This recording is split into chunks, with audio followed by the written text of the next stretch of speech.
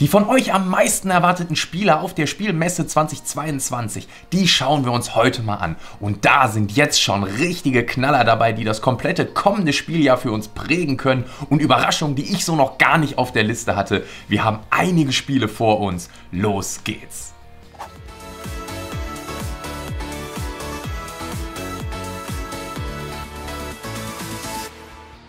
Willkommen in der Bretthöhle. Ich bin Simon, aber Wayne, denn heute gucken wir uns die meisterwarteten Spiele an zu der Spielmesse. Und ein kleines Vorwort, bevor wir uns auf diese unzähligen Titel stürzen.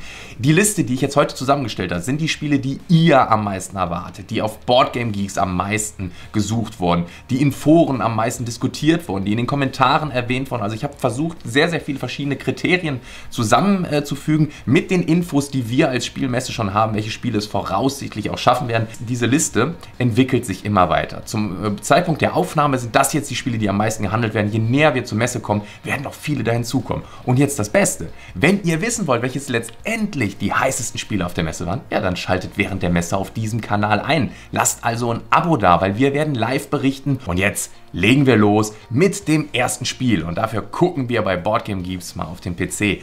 Und das ist Oltre. Das Spiel habe ich euch auch schon mal vorgestellt, äh, zumindest als Ankündigung.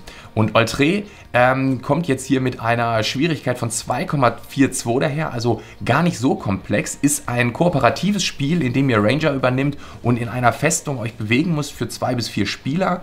Ähm, und wenn wir uns hier schon mal so ein paar Illustrationen angucken, ist das ein Spiel, wo ich schon von sehr, sehr vielen gehört habe, dass dieser kooperative Aspekt durchaus ein Hit im nächsten Spieljahr werden können. Viele Leute wünschen sich da auch immer schon genauere Infos. Hier ist jetzt eben ein Prototyp davon zu sehen. Ich bin ganz gespannt, was Oltre ähm, dann tatsächlich alles zu bieten hat. Ein Titel, der sehr, sehr heiß gehandelt wird. Dann ein Spiel, was ich mir schon angucken konnte. Ich habe nicht direkt mitgespielt, aber ich saß daneben und konnte mal einen Blick darauf werfen. Und das ist The Sing, das Brettspiel. Und da geht es natürlich um diesen altbekannten Film, wo dieses Ding aus dem All eine Gruppe von Leuten unterwandert und ähm, ja, so, so ein bisschen wie in Battlestar Galactica diesen Verrätermechanismus in eine Überlebenspartie bringt. Hier auch wieder eine Komplexität von 2,88, circa 60 bis 90 Minuten, ein bis acht Spieler und das kann ich wirklich ähm, ja, wiedergeben, dass ich gesehen habe, dass sehr, sehr viele Leute dieses Spiel gespielt haben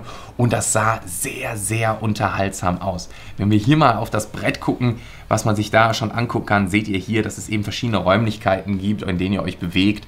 Ähm, ihr übernehmt Charaktere und müsst verschiedene Aktionen durchführen und müsst natürlich überleben, denn irgendwo infiziert dieses Alien die Spieler. Das sah sehr, sehr interessant aus. Ich bin sehr gespannt, wenn ich da auch mal die erste Runde zugespielt habe. Das riecht nach einem Spiel, was mich persönlich auch sehr tangieren könnte. Dann gucken wir auf einen Titel, der schon sehr, sehr viel äh, ja, äh, diskutiert und beredet wurde und das ist Zwergendorf. Und äh, in Zwergendorf habt ihr jetzt ein äh, Zwergendraft-Kartenspiel, was ich auch schon mal leicht angerissen habe von Rita Model. Hier haben wir jetzt hier zumindest schon die Infos 30 bis 45 Minuten Spielzeit für zwei bis vier Spieler.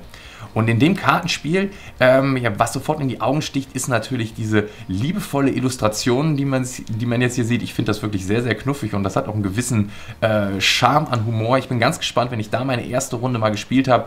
Also jetzt hier ein Card Draft da mit verschiedenen Punktesammelmechanismus, äh, Me äh, Mechanismen und eben Alternativen, die ihr da drauf habt in eurem kleinen Zwergendorf, was ihr hier aufbaut. Hier seht ihr hier so einen kleinen goldenen Zwerg.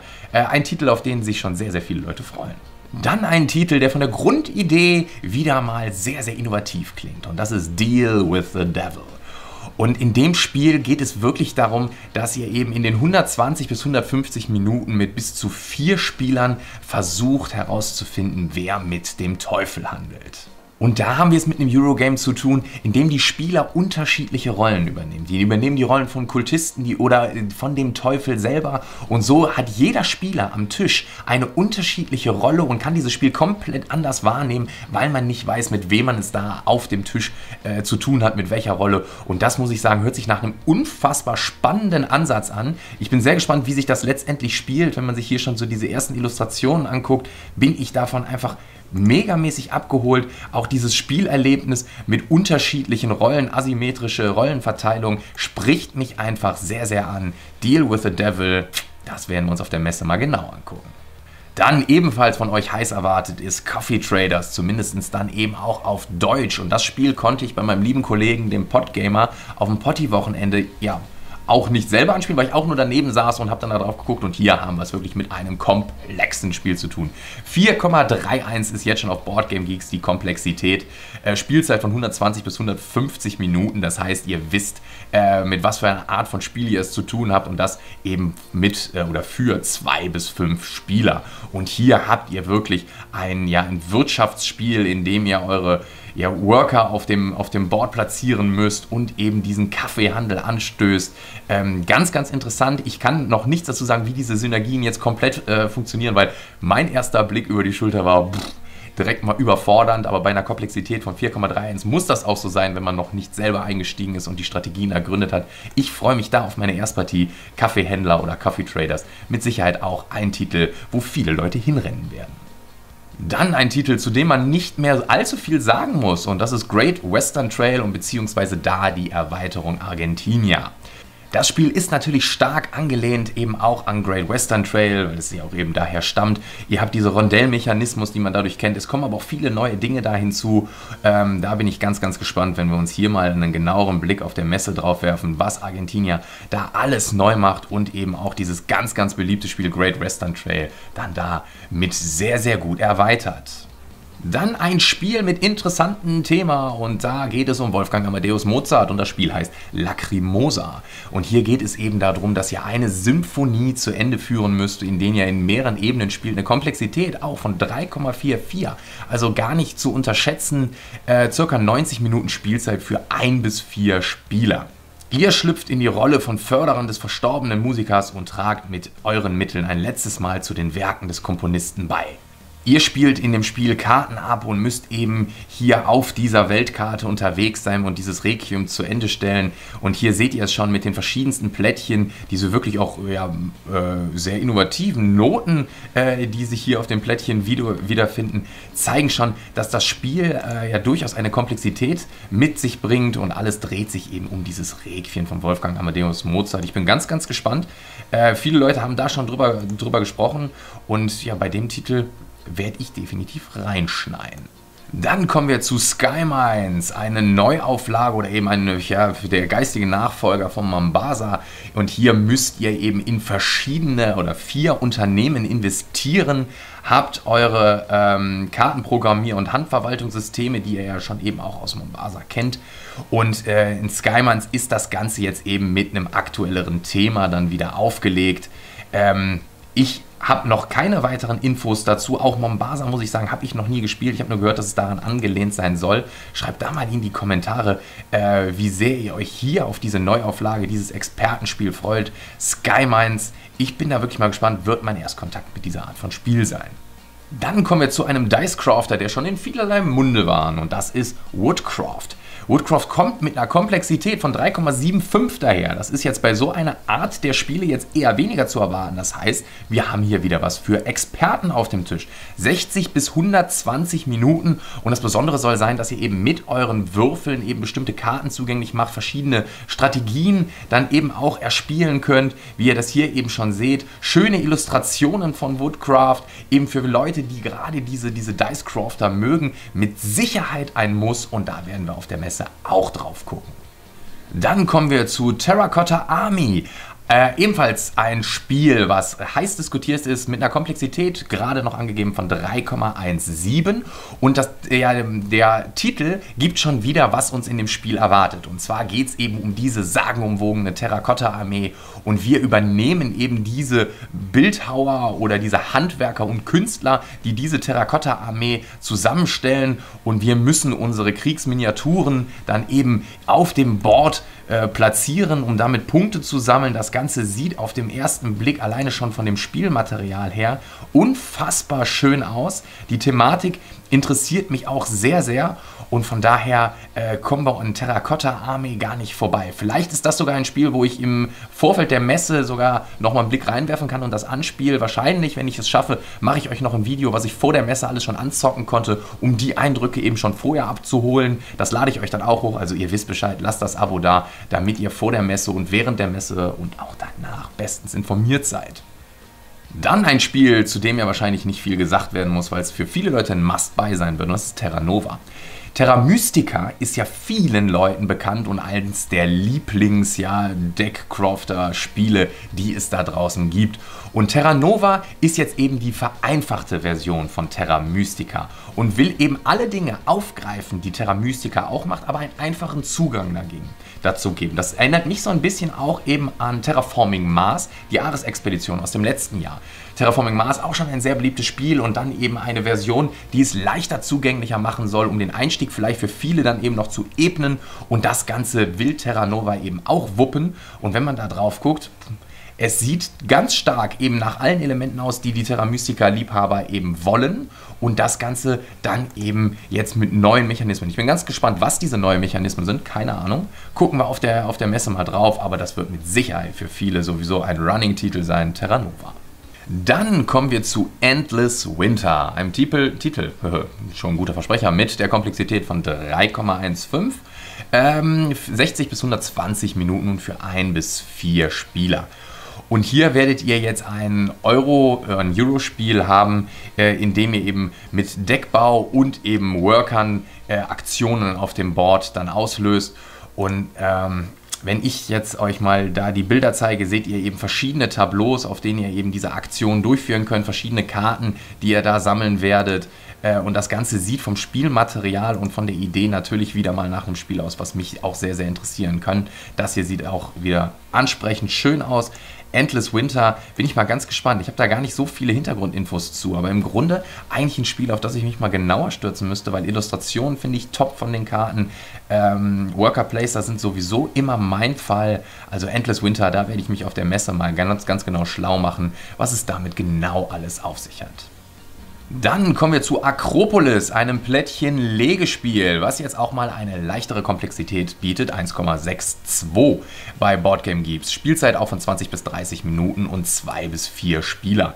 Und hier wählt ihr eben eure, euer Plättchen aus. Das ordnet ihr in der Stadt an, um das volle Potenzial dann eben oder Punkte dann zu holen und das Ganze dann auf höhere Level und Distrikte dann eben auszubauen. Und Akropolis ist hierfür dann eben der maßgebliche Titel und ihr seht hier eben die Plättchen, die ihr dann eben auch aufeinander baut und dadurch eben eine ja, Akropolis äh, im griechischen Stil aufbaut und das Ganze könnte gemixt mit dem Thema und den verschiedenen Punktmöglichkeiten ein durchaus interessantes Plättchen-Legspiel in dem kommenden Jahrgang werden, äh, was wir uns genau angucken werden und das Ganze hier ergibt ja wirklich schon ein schönes Gesamtbild auf dem Tisch.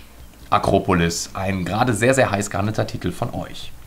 Dann kommen wir zu Spaceship Unity und das Spiel konnte ich tatsächlich schon anzocken und das ist ein unfassbar verrücktes und witziges Partyspiel oder Interaktionsspiel würde ich es eigentlich eher nennen. Partyspiel ist ja immer so, so ein verwirrender Titel, weil es ja gar nicht darum geht, dass man das wirklich auf einer Party spielt, sondern ihr habt einfach nur eine Mordsstimmung. Und in Spaceship Unity übernimmt jeder von euch eine Rolle ähm, eines Mitglieds auf diesem äh, Schiff, was Unity bedeutet. Das heißt, ihr seid Crewmitglieder und ihr verteilt dann ganz wild in eurer Wohnung Karten äh, und diese Karten symbolisieren dann zum Beispiel euren Schildgenerator. Das sind dann zum Beispiel eure Rollläden. Und dann müsst ihr da eben in fünf verschiedenen Missionen euch dann da durchspielen und dann werdet ihr wild, äh, wilde Aufgaben lösen, also rumrufen, aktiviert den Schildgenerator, dann müssen die Leute die Rollläden runter machen und Aufgaben lösen und das Ganze eben in Zeithektik Ihr bekommt wirklich so das Gefühl, an Bord des Schiffes zu sein mit vielen verrückten Ideen.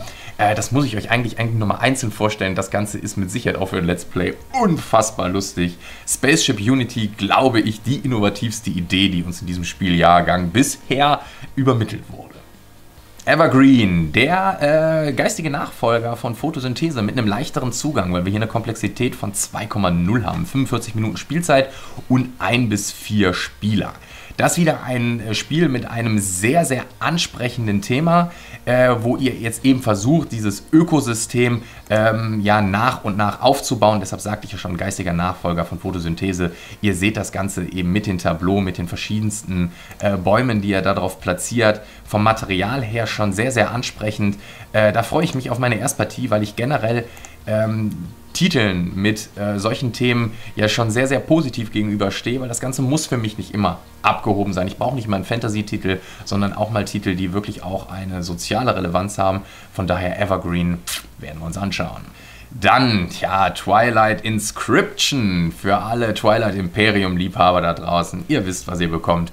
Komplexität von 3,5, aber auch nur eine Spielzeit von 90 bis 120 Minuten für ein bis acht Spieler. Ja, das ist untypisch für Twilight Imperium, weil eigentlich müsst ihr euch dafür Urlaub nehmen, um eine Partie zu spielen. Denn acht Stunden pro Partie sind durchaus realistisch. Und äh, das ist jetzt eben ein episches Roll and Ride für bis zu acht Spieler und äh, das eben in dieser Twilight-Welt. Und da müssen wir wirklich mal einen ganz genauen Blick drauf werfen. Ihr erkennt eben die Illustrationen, die ihr schon eben aus den Neuauflagen von Twilight Imperium alle lieben gelernt haben. Und äh, ihr seht auch hier sind wir wieder vielfältig mit komplexen Boards vertreten, unsere Galaxiekarte und, und, und. Twilight Inscription, jetzt äh, wieder was Schönes für alle Fans von Twilight Imperium. Das epische Roll und Ride, die Erfahrung. Schön. Da gucken wir definitiv drauf. Dann gucken wir uns mal Sabika an. Und Sabika kommt in der Komplexität von 3,25 daher für ein bis vier Spieler und Spielzeit ca. 60 bis 120 Minuten. Hier sind jetzt innovative Mechanismen drin und zwar haben wir es hier nicht mit einem Rondell, sondern mit drei Rondell, Rondellen, Rondells, sag mir, was davon der Plural ist, äh, zu tun, äh, wo unterschiedliche Aktionen drauf ausgeführt werden in den Foren schon ganz heiß diskutiert. Das Ganze, diese, diese Rondellmechanik ja auch gerade ganz stark durch die Rote Kathedrale von äh, Kosmos aus dem letzten Jahr dann wieder aufgegriffen. Hier werden wir es dann wohl mit drei Stück zu tun bekommen. Äh, bin ich sehr, sehr gespannt drauf, wie sich dieses Spiel dann eben spielt. Ihr seht hier eben viele verschiedene Felder, viele Symboliken, die es da zu lernen gibt. Aber das ist natürlich ein Anreiz für viele Knobler da draußen. Sabika, wieder ein heißer Titel, der sich eben auch jetzt hier in, äh, ja, wieder auf der Welt wunderbar zurechtfindet. Genua, Venedig, Venezia, Venedig, was ihr besuchen könnt. Hm, ich bin da wirklich mal gespannt drauf.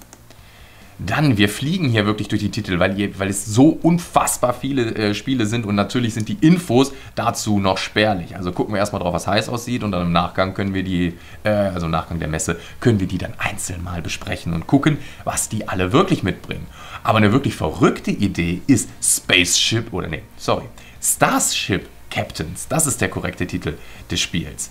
Und äh, in diesem 2 bis 4 Spieler Euro-Spiel übernehmt ihr wieder eine abgefahrene Crew, in denen ihr eben äh, verschiedenste Aufgaben machen müsst. Und das Ganze erinnert natürlich für Star Trek-Liebhaber und Co., die dann noch eine gewisse Portion Humor mitbringen, an ein wirklich spannendes Abenteuer, was ihr dort spielen könnt. Die Illustrationen sind genau mein Stil. Das ist so eine, ja, eine gewisse Selbstironie und ein schöner Comic-Style, der daherkommt. Starship Captains ähm, ich bin sehr, sehr gespannt, was es dann spielerisch dann auch auf den Tisch bringt, aber erst einmal vom Ersteindruck bin ich da auf jeden Fall schon sehr, sehr interessiert.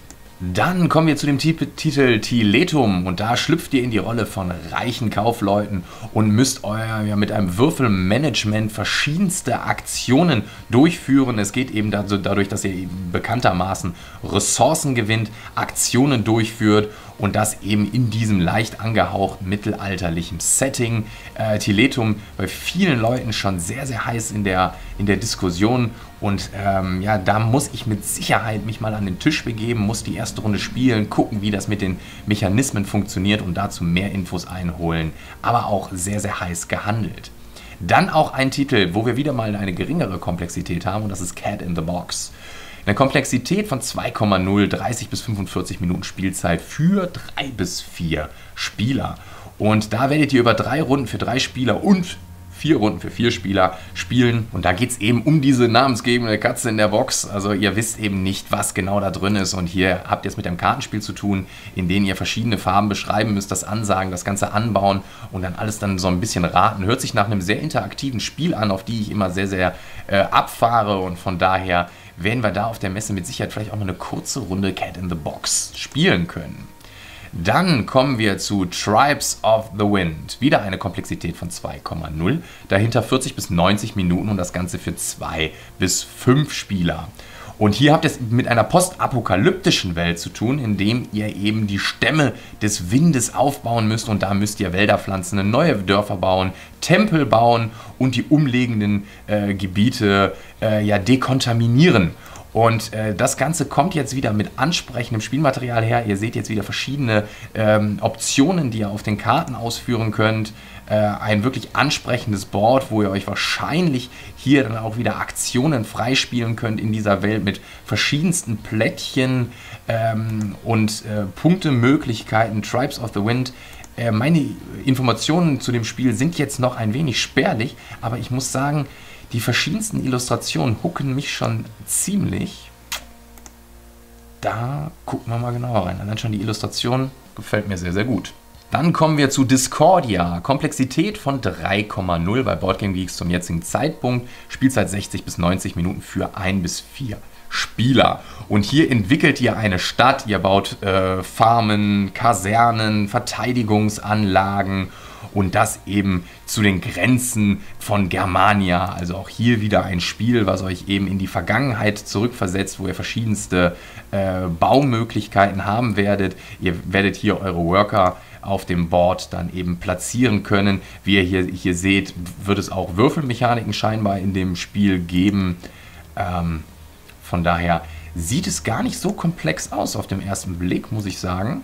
Ähm, schön überschaubares Spielmaterial auf dem Brett. Ähm, also von daher mit Sicherheit ein Spiel, was man mal so äh, zwischendurch ausprobieren kann. Obwohl da auch da sieht es wieder ein bisschen komplexer aus. Ja, ihr seht, Spiele muss man gespielt haben, damit man den genauen Eindruck bekommt. Aber ich freue mich mega auf die komplette Berichterstattung nachher, wenn ich die ganzen Spiele auch tatsächlich mal gespielt habe. Und vorher ist das immer total spannend. Geht es euch auch so? Das würde ich in den äh, Kommentaren wirklich, wirklich mal interessanterweise lesen. Äh, dass ihr total gehypt seid von vielen Titeln und dann sehr, sehr gespannt, wenn man es dann gespielt hat und dann entdeckt man, oh, warte mal, das Spiel ist komplett anders und das geht in die Richtung. Oder das eine Spiel ist vielleicht sogar viel enttäuschender, als man es gedacht hat oder viel besser, als man es gedacht hat. Ich finde das total spannend, eben mit dieser Erwartungshaltung dann in die Messe reingehen zu können, dort alles anzuzocken und sich reinzuziehen und dann ja viel, viel schlauer in das nächste kommende Spieljahr zu gehen und zu gucken, was sind denn wirklich die Kracher, die auf der Messe da kommuniziert wurden. Und dann kommen wir zu einem Titel, wo ich sagen muss, der Titel ja, äh, Autobahn. So heißt es nämlich. Mit einer Komplexität von 3,25. Scheint aber eben mechanisch eben in diesen ökonomischen Strecken, die ihr auf dem Autobahnnetz bauen müsst, ein Spiel zu sein, was unfassbar Interesse auf sich zieht. Der geistige Nachfolger des beliebten Spiels des Jahres, so wirkt das Ganze eben auch auf mich und dann durchaus hier vielleicht wieder ein wenig moderner gehalten, komplexer mit verschiedenen Trails, auf denen ihr euch bewegen könnt und da wahrscheinlich verschiedene Aktionen dadurch triggert ähm, euer Autobahnnetz, was ihr aufbaut und was ihr abfahrt mit verschiedenen Wertigkeiten oder Auslösungspunkten. Äh, da bin ich, bin ich gespannt drauf. Also tatsächlich, der Titel finde ich jetzt nicht so spannend, aber das, was alles da mitkommt, das wird auf jeden Fall Bock bringen. Davon bin ich überzeugt. Gucken wir uns an. Es muss natürlich erwähnt sein, ein Titel, auf den sich sehr, sehr viele freuen und das ist Weather Machine. Und da, ihr werdet es wissen, äh, hier haben wir es natürlich mit einem Vita Lacerda zu tun und da kommt eine Komplexität von 4,18 daher. Die hat man zu erwarten und die will man auch haben. Und eine Spielzeit von 60 bis 150 Minuten, zwei bis vier Spieler. Und hier müsst ihr eben diese Wettermaschine manipulieren und eure Wissenschaftler auf dem Board ähm, platzieren und bestmöglich da eben diese Wettermanipulation zu Punkten umwandeln. Und äh, das Ganze wird mit Sicherheit thematisch und mechanisch wieder ein Spiel sein, was 1A ineinander eingeht. Äh, das wird auf jeden Fall in vielen Stunden von mir mal erprobt werden. Äh, das Spielmaterial spricht mich an, die Idee spricht mich an und ja, der Name lockt. Deshalb Weather Machine werden wir gucken. Wir bleiben bei der gleichen Komplexität praktisch. Eine Komplexität von 4,14 und zwar der Titel Imperial Steam. Und da werdet ihr schwierige, äh, schwierige Unternehmensentscheidungen treffen und wahrscheinlich sind es dann eher doch strategische Unternehmensentscheidungen, wo ihr dann eben ähm, verschiedene Logistik- und Wirtschaftsproblematiken lösen müsst. Und das Ganze ist jetzt hier wieder ein Spiel, wo ihr hier auch wieder Vernetzungen der verschiedenen ähm, Aktionsorte auf dem Board seht. Ihr habt eure Unternehmen, wo ihr die Aktion durchführen könnt. Also auch da wieder für die ganzen Expertenspieler mit Sicherheit ein Titel, den man antesten muss. Imperial Steam. Dann kommen wir zu dem neuen Spiel von Uwe Rosenberg, Ativa. Und da wird es auch auf dem Panel einen Vortrag äh, auf der Spielmesse von ihm dazu geben. Guckt euch das gerne mal an. Äh, wir werden auch versuchen, da die Kamera mal mitlaufen zu lassen. Und in Ativa haben wir jetzt eine Komplexität von 3,0, 30 bis 120 Minuten Spielzeit für ein bis zwei Spieler. Und in dem Spiel geht es jetzt eben, wie man es eben auch von Uwe Rosenberg kennt, um ein aktuelles Thema, wo wir in Ghana, in Afrika spielen, wo eben diese Flughunde oder Fledermäuse eben als bloße Fruchtdiebe verachtet und gejagt wurden. Und äh, tatsächlich sind das unglaublich nützliche Tiere und die werden in Ativa dann eben noch mit einem wirklich, ja, fast schon biologischen Thema, was man einem näher bringen möchte, eben da auch in Ghana, dann eben zum äh, Hauptakteur dieses Spiels. Und ihr seht schon, dass sich diese Tiere dann eben um andere Tiere dann drum platzieren und dadurch dadurch dann verschiedenste Punkte ausgelöst werden. Den Vortrag, den werde ich mir definitiv mal angucken, auch welche Relevanz es da mit den Themen rund um Ativa um sich hat und wie dann eben auch diese Tiere in einem Ökosystem funktionieren und das Ganze spielerisch dann noch mit äh, ja, sehr, sehr, ich finde schon komplexen ähm, ja, Spielmaterialien und dann eben auch Zielen und äh, Wirkungen, die man auch dann eben diesen Tieren dann spielerisch dann ähm, ja, nahegebracht bekommen möchte, finde ich ein hochspannendes Thema. Äh, da werde ich mir das, das Panel dazu mal angucken und dann auch Ativa anzocken.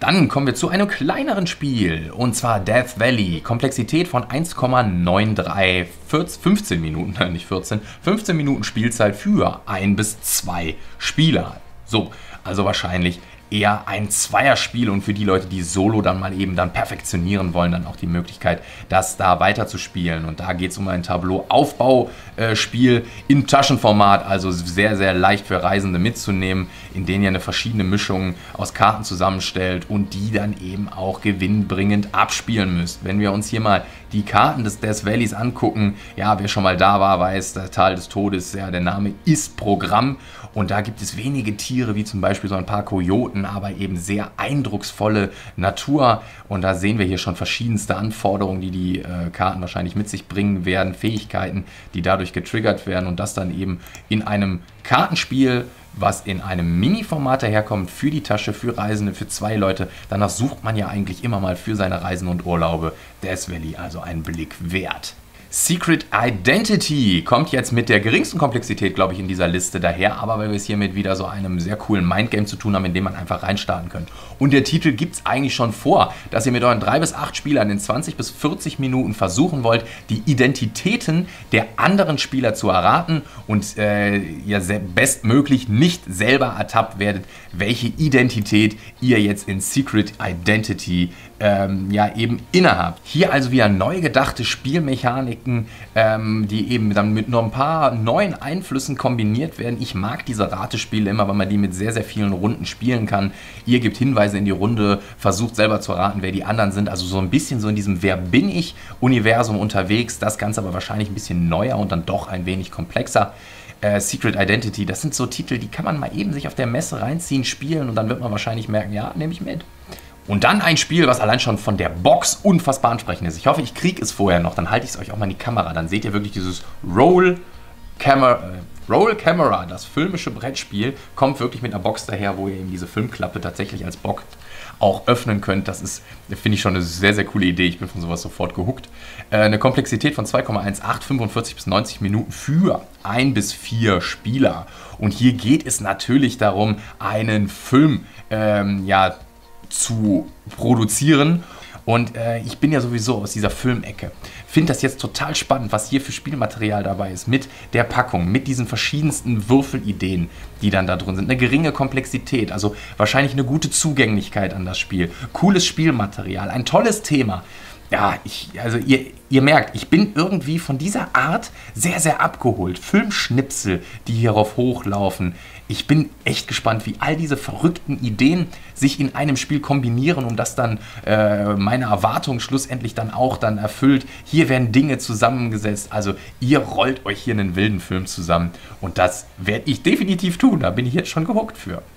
Dann kommen wir zu Challengers und das ist ein Spiel tatsächlich für ein bis acht Spieler in einem Deckmanagement. Spiel. Und ihr baut euch hier in eurem Deck eben ja die verschiedensten Sachen zusammen. Ihr bekommt Zauberer, Aliens, Katzen, Gangster, Kraken, was auch immer. 75 verschiedene Charaktere mit äh, verschiedenen Fähigkeiten in euren Deck und müsst dann eben als Challenger gegen die anderen Spieler antreten. Ihr seht hier schon, wie die ganzen Illustrationen daherkommen. Ähm, und das Ganze ist jetzt schon ein Spiel, was sehr, sehr hoch gehypt ist, wo man eben gegeneinander spielt. Es sollen immer 45 Minuten an Spielzeit dabei rauskommen, egal mit wie vielen Leuten man diese, diese Challenge oder diese Herausforderung annimmt. Das finde ich ist eine sehr, sehr spannende Unterfangen. Und ähm, da bin ich gespannt, wie sich das Ganze spielt mit seinem Deck, was man da ausspielt, wie viel Interaktion, wie viel Witz da hinkommt und wie das sich eben auch verhält, dass es mit ein bis acht Spielern immer in 45 Minuten gespielt wird. Challengers, auch auf der Messe, dringend angucken. Dann kommen wir zu Flamecraft. Schon stark diskutiert der Titel, und zwar positiv, mit einer Komplexität von 2,2. Circa eine Stunde gespielt für ein bis fünf Spieler. Und ihr übernehmt eben diese Flammenwächter, sammelt Gegenstände, platziert Drachen und werft Verzauberungen, um die Geschäfte der Stadt zu verbessern und, und, und. Ein buntes Spiel in einer wirklich ansprechenden Box von dem Material. Hier wahrscheinlich die Deluxe-Komponenten. Da bin ich mal gespannt, wie das tatsächlich äh, zum Schluss aussieht. Das hier sieht alles sehr, sehr ansprechend aus. Bin mal gespannt, ob es das dann auch so in die Box reinschafft. Äh, die verschiedensten Karten, Flamecraft. Ähm, ähnelt sich mit, mit Spielen, die, die wir hier schon vorgestellt haben. Also vielleicht ist da auch mal eine Liste von ähnlichen Spielen, die man machen kann, möglich ähm, und gucken, wie sich das Ganze dann zum Schluss dann eben auch auf dem Tisch wiedergibt. Die Illustrationen sprechen mich total an. Ich bin ja auch so ein kleiner Final Fantasy Fan und da sind auch so ein paar Sachen, die mich daran immer mal wieder erinnern. Natürlich die Zeichenstil so ein bisschen kindlicher gehalten, auch so ein bisschen Tidal Blades Richtung. Gefällt mir. Gefällt mir wirklich gut. Flamecraft werden wir uns angucken. Dann für alle Leute, die natürlich ihre Rennspiele hier nicht vermessen dürfen, kommt das Spiel Heat Pedal to the Metal. Äh, 30 bis 60 Minuten für ein bis sechs Spiel, äh, Spieler und ihr übernehmt hier eben diese wilden Flitzer und habt hier ein neues Rennspiel. Hier haben wir jetzt auch einen schönen Blick auf die Rennstrecke, die verschiedenen Tableaus, die wir haben ähm, und äh, ja, für alle Freunde des Rennspiels hier mit Sicherheit ein Titel, was man sich mitnehmen muss. Dann kommen wir zu einer Erweiterung für die Rote Kathedrale aus dem letzten Jahr. Ein Spiel, wo ihr eben in dieser Rondellmechanik eben Ressourcen euch zulegt. Und hier kommen wir jetzt zu den Contractors oder auf Deutsch eben den Bauunternehmern, die das Spiel hier eben noch erweitern werden. Und ihr seht hier eben schon an Material, kommt noch einiges hinzu äh, für Fans von der Roten Kathedrale, die hier ihr Spielerlebnis eben jetzt damit auch noch sich weiter erfüllen wollen, kommen jetzt hier die Bauunternehmer, die Contractors hinzu. Äh, wahrscheinlich ein Must-Buy für alle Fans der Roten Kathedrale, ein Spiel, was sehr, sehr gut funktioniert hat. Und dann kommen wir zum Schluss noch zu Titeln, die es wahrscheinlich nicht auf die Messe schaffen werden, die aber ganz hoch gehypt sind. Ich will sie jetzt hier nur nennen, weil viele von euch wahrscheinlich darauf warten. Möchte mich aber mit dem ganzen genaueren äh, Bezug auf die Spiele dann so ein bisschen nach hinten verschieben, nach der Messe, wenn dann eben das Material da ist. Also schaltet dann wieder ein. Septima ist da eben ein Titel, der sehr, sehr heiß gehandelt wurde und die skippe ich jetzt mal eben durch. Revive, das ist ein Spiel, wo ihr jetzt hier auch wirklich einen schönen ja, Wiederaufbau der Welt vor euch habt. Und äh, das sieht sehr, sehr ansprechend aus. Bin ich gespannt, wenn das Spiel kommt, dann muss man sich es genauer angucken. Äh, Hamlet, das Dorfbauspiel, äh, wenn es die Spiele doch auf die Messe schaffen. Deshalb solltet ihr einfach da äh, auf dem Laufenden bleiben. Vielleicht ergibt sich in den nächsten Wochen noch was. Ist hier auch ein Spiel, was von vielen, vielen Leuten genannt wurde. Ähm, und es werden noch weitere Titel dazukommen. Es werden auch jetzt noch weitere Titel geleakt. Informationen werden dazu fließen. Also bleibt auf YouTube tätig. Guckt es bei der Spielmesse, guckt es bei meinen lieben Kollegen da draußen. Wir halten euch alle auf dem Laufenden, was zur Spielmesse eben zu erwarten ist. Und dann zockt es auf der Messe an. In dem Sinne, ich werde euch wahrscheinlich noch ein paar Videos und auch Infos vor der Messe noch hochladen und dann geht das wilde Stream von der Messe los und wir nehmen euch mit für all die Leute, die es nicht dahin schaffen, das Gefühl da gewesen zu sein, für all die Leute, die nur ein paar Tage da gewesen sind, auch noch die anderen Tage zu erleben. Wir haben wirklich einiges vor. In dem Sinne, schaltet wieder ein. Macht's gut. Ciao.